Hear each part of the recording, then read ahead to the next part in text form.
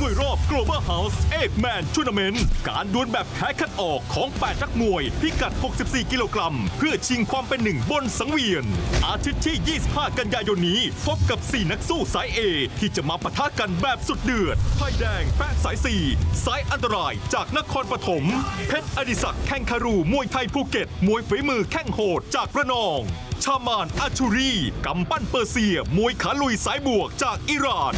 ราชศักดิ์สุริยวงศ์จอมโหดจำปาศักดิ์มวยพันลุยจากสปปลาว ร่วมด้วยจอมเก๋าหมัดคม คมกระบี่ลูกทับฟ้าปะทะชายาน เฮดาริ จอมเตะหนักจากอิหร่าน ดาวรุ่งสาวจอมตะลุย แสนงามกำนันเชษเมืองชนดวลกับธิดาขอม KUN ยิม จอมหวดก้านคอจากกัมพูชา พร้อมขั้วมวยคุณภาพที่แฟนมวยต้องลุ้นกันทุกวินาทีช่อง8มวยไทย Super Champ ศึกมวยรอบ Global House eight man tournament รอบแรกสาย A อาทิตย์นี้ถ่ายทอดสดทางช่อง 8 1 ทุ่มตรง แฟนมวยไทยห้ามพลาด Global House ครบหลากหลายให้บ้านคุณ